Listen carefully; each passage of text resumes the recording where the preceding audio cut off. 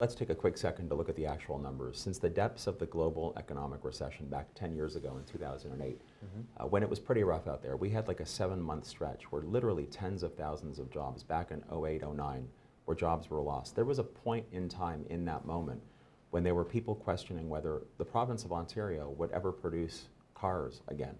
And when you consider how historically important and currently important our auto sector is, that's just something that's remarkable to hear 10 years later. But 10 years later, because we chose as a government at that point in time to run a small deficit and to invest in our people and to invest in our infrastructure and to invest in a future where the economy could do well, we have, since the depths of that global recession, created about 800,000 new jobs.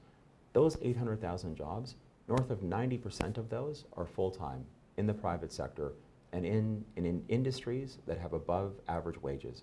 So that's a really tremendous economic success story. At the same time, as you pointed out, we have GDP, we have economic growth It doesn't just lead Canada, it leads the entire G7.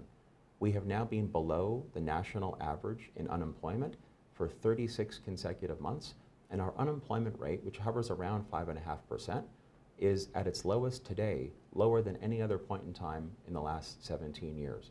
So it is a really, really good economic story that we have we know that that economic success hasn't been universally felt by every area, physically, geographically in the province, and it hasn't been felt by every individual or every family. That's why we see in some cases a bit of that rising inequality that I referenced a second ago. We want to close that gap. We want to make sure that we have social stability. That helps improve investor confidence. That helps strengthen our economy. We also have challenges because I'm sure your clients, your viewers would know we have NAFTA, for example. We have an American, uh, an American federal administration that is, I could say dip diplomatically, unpredictable.